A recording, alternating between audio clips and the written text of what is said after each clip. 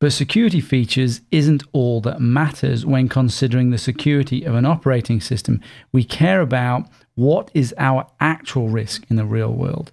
So, one way to consider real risk is to look at the amount and severity of security bugs and vulnerabilities that operating systems have a history of. To do that, we are going to look at CVEdetails.com, which is a security vulnerability database containing most of the known security vulnerabilities for applications and operating systems. Have a look at CVE details yourself now and see what the latest data is. If we look at the top 50 list here, we can see the top 50 worst vendors, which is what we're on now. And as of recording, we can see Microsoft is at the top with its 12 products. These will mostly be operating systems.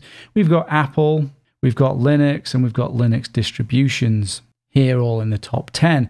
And this is for all time. If we look at 2018, we can see we've got Microsoft, Debian, which is a Linux operating system, Apple, still all here for 2018.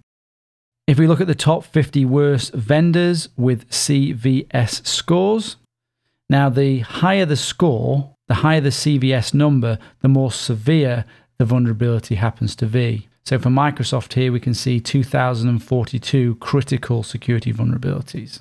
So we can see we've got Microsoft, Apple, Linux, and Linux distributions here all in the top of this list. Critical security vulnerabilities, by the way, would be something like a remote code execution bug where you can remotely take over a device by sending it a specially crafted packet or data. So it's a pants on fire type bug. If we look at the top 50 worst products, we can see we've got Linux here under OS, macOS, we've got Android for the mobile platform, iOS on the mobile platform, and a Linux distribution here and a Windows operating system, all in the top 10 for products, top 50 worst products. And if we look at the CVSS scores, we can see, of course, again, Linux kernel, macOS, Android, iOS, Debian, Windows Server, all in the top 10 for products, and all with critical security vulnerabilities. So, what can we take from this data? First, all operating systems have security vulnerabilities, and all operating systems have serious critical security vulnerabilities. So, if someone is trying to tell you to move to Linux or Mac because that will solve all of your security problems, that's just a myth. Just look at the data. Other than that, it's hard to take much more from this data. Why? Because there are many biases in how this data is collected. So, for example, researchers spend more time analyzing Windows simply because it's the most popular operating system. Mac and Linux will be less researched. So, there should be a bias to finding Windows security bugs. More obscure versions of Linux will have much less research, so we should expect to see less security bugs. That does not mean there are less bugs in the operating system, it just means less have been found. Also, security researchers can get paid for finding security bugs called bug bounties, which incentivizes security research to look at specific products. And particularly, they're not going to be looking at open source products because they tend to not have bug bounties offering money.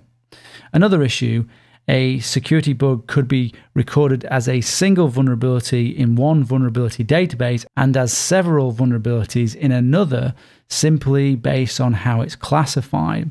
A bug in Windows could apply to many of Microsoft's operating systems, which means as a vendor, they might get six or so vendor vulnerabilities when it's really one bug for a single product or operating system.